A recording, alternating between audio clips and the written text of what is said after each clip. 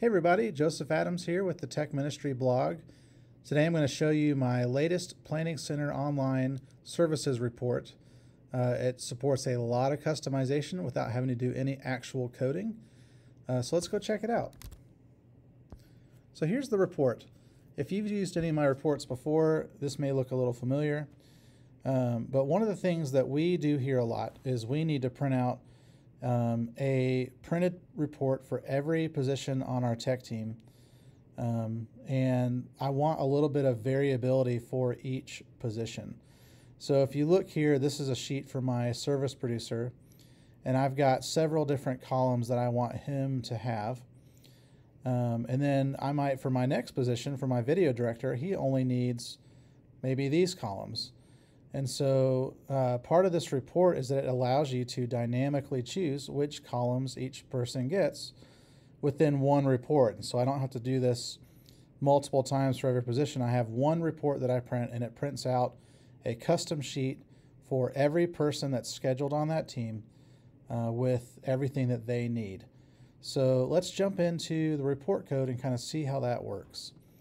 So this is the report code here. Uh, I've called it the matrix plans split teams uh, support.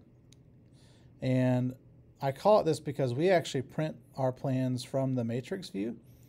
We've got two venues here that we run simultaneously, and I schedule similar structured teams to each one. And so I just want to be able to hit print one time and get one set of paperwork for both venues, and then I can pass out all that paperwork at one time. So I've loaded into the matrix here uh, both venues, Auditorium 1 and 2, with the various teams that are scheduled for each of these. And if I look here in the matrix plan split team support report, uh, here's how I can customize it. So uh, first of all, I have an array of service times, and I've chosen 9 a.m. and 6 p.m. We don't currently have a 6 p.m. service time, uh, but this is how it could work for your team if you did. You would just uh, put in all the different service times that you have. Um, and then if you have non-split teams, which most of these teams are, these are actually all like regular teams. I guess that's what they call them. Um, you can print. Uh, you can either choose to say, I want to print a report uh, for every time for every non-split team for every one of these times, or just print them one time. So maybe, for example, uh, you've got that one team scheduled and they're going to serve for every service time you have. Well, you probably don't want to print out a new piece of paperwork for them for every time. But maybe a split team, you'll have different people. And so that allows you to pick and choose which way you want to do that. But down here is how the team positions and columns works. Um, so you can see here this is kind of a description of how to do it. Uh, so you need to have a a line with the video team. That's the name of the team. A colon, and then the name of the position, and then another colon, and then here I've listed out each of the columns separated by a semicolon. So for my live stream operator, I only want them to get the the the plan item note called leader, program, and live stream. But maybe for my service producer, I want them to get leader, program, LED wall, TV, side screens, or live stream. Now remember, these are plan item notes. And so if you go to your team settings uh, and you go to the settings tab here, these plan item note categories, that's where these come from. And so I've got these put in here. Um, so that's where those are coming from. So you'll need to make sure that you match uh, in the report code this name precisely. Um, and then for a couple other of my positions, I actually want uh, some of these notes to not be in columns, but I want them to be in rows along the item description. So let's look at uh, the report. I'll give you an example. If we scroll down to my sound position,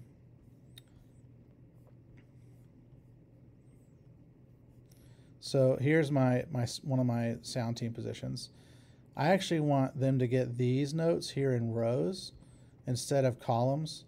And so that's how I kind of put that in here. Uh, you do a pipe, and then anything that comes after the pipe separated by semicolons will appear in the rows. So this allows us to print out the report not necessarily alphabetically by position or by teams, but in the exact order that I want them in, which is it just makes it faster for our team. That way we can uh, we can just print them out in the way that I'm going to hand them out, and so that's just very helpful for us, and that's way the way I've designed this report. Uh, the report header area, which is this place at the top, you can customize whether you want the logo, how you want the date to be formatted, things like that. Um, and then if you've used some of my reports in the past, checklists is something that I've come up with a way to print on the reports automatically. Um, it's just a way to help your different positions have something that they can remember to do. Um, and so now each of these categories is dynamic. You can have as many of these as you want as long as you have what we call unique identifier. So let's just kind of walk through how that works. Um, checklists will use plan note fields to prevent those helpful to do or reminders for each position on your team. But you must create the plan note category in this format. It has to be checklist, space dash space, the team name, space dash space, the position name. So if I look over here at my settings for this team, um, I have got here down here at plan note categories, I've got all these checklists. And so I can put in a plan note for every one of these positions. And when I use the unique identifier at the beginning, that's how I know kind of what category it falls in. So, for example, let's say I want to have a checklist uh, called during rehearsal, and then I want to have this one item that says all videos tested. It would look like this it would have the identifier at the beginning and then say all videos tested. So if I come to my plan and scroll down here and look at, um, so here's here's one that would print during um, the my I called it my during rehearsal category. You can call it whatever you want. I just have a plan item note in there with this asterisk at the beginning. And when the code runs, it will look for that asterisk. So anything that has the asterisk at the beginning will automatically be put into that category. So you can see I've got several different types configured. I have one called during rehearsal, and that's a, I call it the once type. And then I have a, if I put a tilde at the beginning and I, and I use the service type, it'll print before each service. So here's a, let's see if I can find an example of a before each service. Looks like I have a lot of after each services. We'll just do that. So after each service, you can see it looks different than during rehearsal. During rehearsal, it's called the once type. It just prints a single checkbox. After each service, prints a checkbox for every service time in this uh, ministry type. And so um, if this were a split team, it would only print the one time. But since this is a non-split team and it's printing uh, all the times for that plan, it's got multiple checkboxes here. And so this just helps our uh, volunteers just kind of make sure that they are checking off what we need them to do. So that's kind of a brief overview of checklists. Um, and you can see the documentation here will walk you through how to set it up. But you will have to create these plan note categories, and they do have to precisely match the name of your team and the name of your position with the word checklist at the beginning. Um, you'll also see here that I've got plan note categories that look similar to the checklist that have video team, video playback, for example. It's got the team name, space, dash, space, the position name. Um, and so we'll get into that in just a minute and how that works. Uh, but if you set that up as well while you're creating these plan note categories, uh, you'll be set to use the full customization of this report. So plan item headers, um, I've got a variable here to show start of service header. And that's nice because it'll print this header right here automatically when the service actually starts. So I know for us here, we have a lot of what we call pre-service items. We might have a song or we want to do announcement slides or whatever, some kind of element really before the service starts. And for my team, this often means elements that they don't have to really uh, be focused on or paying attention to. It's just things that are happening before the service.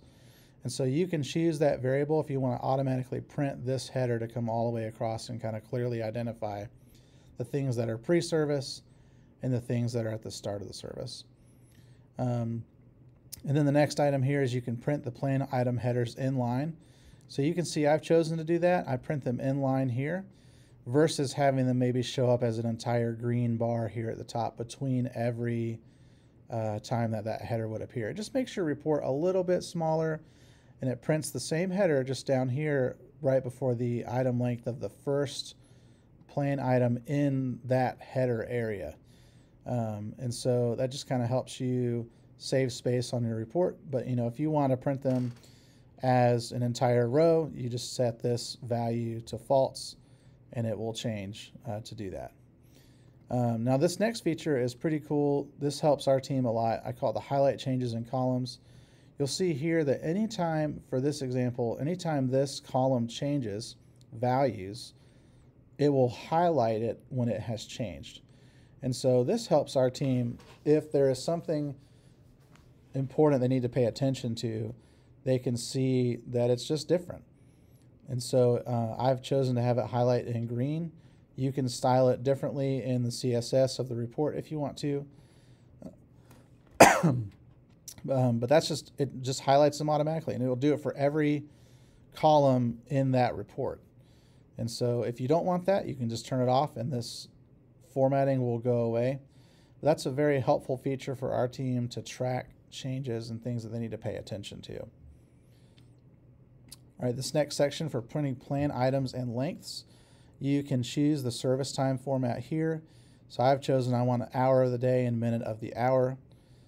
Um, and if you are not familiar with this, you can, can Google the formatting for this. Uh, it's pretty standard date time formatting. Uh, and I, I chose not to print the plan item times, but do print the plan item lengths.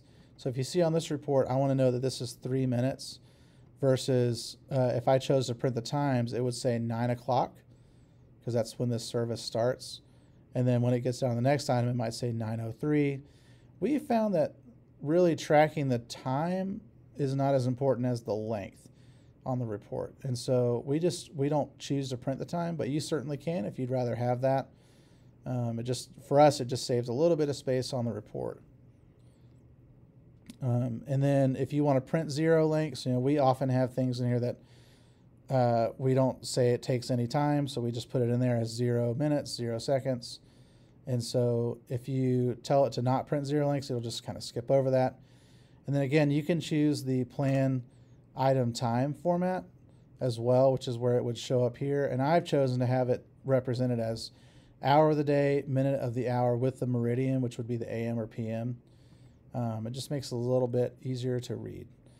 So uh, again, I've got that turned off on my report, but you could turn it on and see how that looks. The next section here is the plan notes to print with every report. So these aren't plan item notes, these are just plan notes.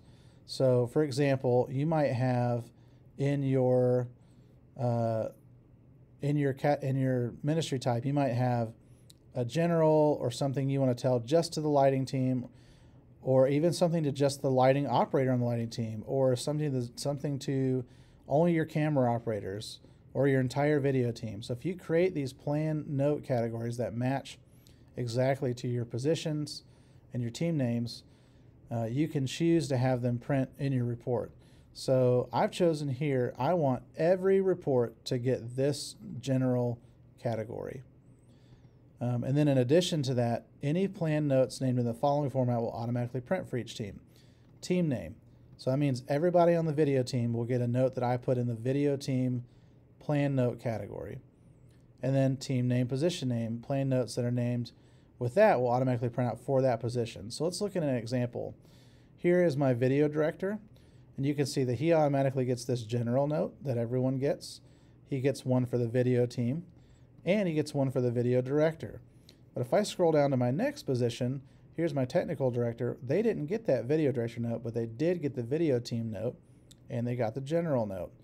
Or if I got went to someone outside of the video team, like say if I go down to my lighting person, which is on a different team, you can see that they only got the general note because that's all I configured for them. I haven't put in any notes for lighting team or lighting team dash lighting operator. And so that's a way to just automatically have those show up for who needs them.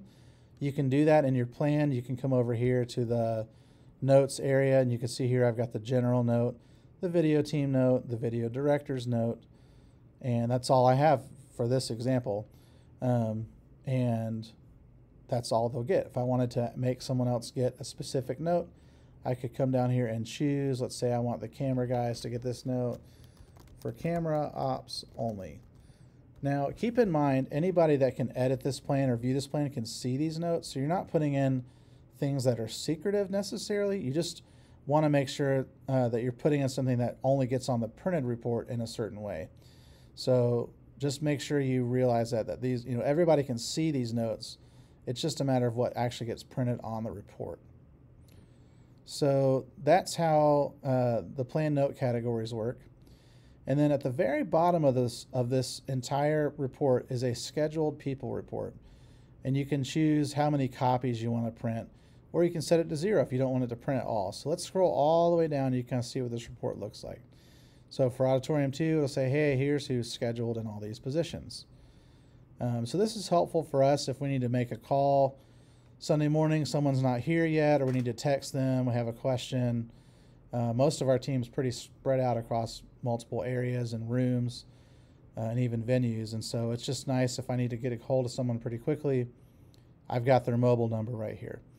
And so I might want to have this print out multiple times because I might want multiple people to have it.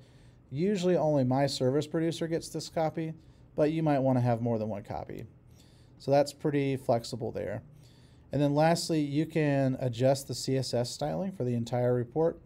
So if CSS is your thing and you know what you're doing, feel free to make customizations here to change colors, font sizes, fonts, any of the, you know, just background colors and padding and however you want to control that, you can change all these items here and it will automatically apply to the report. There are a few advanced editing areas where if you had maybe a, a extreme case of, of a certain delimiter you couldn't use in your fields, for a certain reason, this would be where you would adjust that. But generally, you won't need to. And then lastly, it says do not edit below this line. This is where the actual code is for the report. So this is kind of how the report works.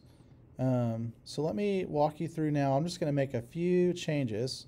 I'm going to come up here to the report code and I am going to say I want to not do the logo. And we will do checklists this time. We will not print them in the headers inline. Um, and we will not highlight note changes. We will turn on some item times. We'll leave the links on so you can kind of see how that works. And yeah, we'll just go with that. So now I'm going to come over here and I'm going to print it. And I like to use uh, the smallest margin available, but you could change that if you want to. And hit accept, and it will run. It does take a minute here to run because it is a lot of code that it's looping through a lot of different times to make it for all your positions. Then you open it up, and so here's how it looks different automatically. It's the same report, but now it's showing me the times and the lengths. You know, it's no longer highlighting over here. I've got the headers now are no longer printing inline, they're printing uh, as an entire row. But you can see it takes up a little bit more room on the report to do it this way. Uh, but it's easily customizable. So you can just put this in, make all those changes, hit print, and it's quickly in a different format. So uh, I hope this helps give you a walkthrough of how this report works. If you would like to gain access to this report, it is for sale uh, so check out the blog post, and uh, there are instructions there on how you can obtain the report and put it into your Planning Center account and be on your way. So thanks for checking this out, and have a great day.